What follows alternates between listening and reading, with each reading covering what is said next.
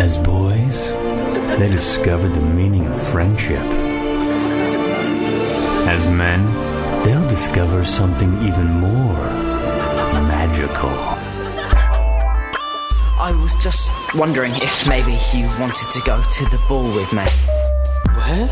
Finally, Harry Potter will learn how love can drain the wizard.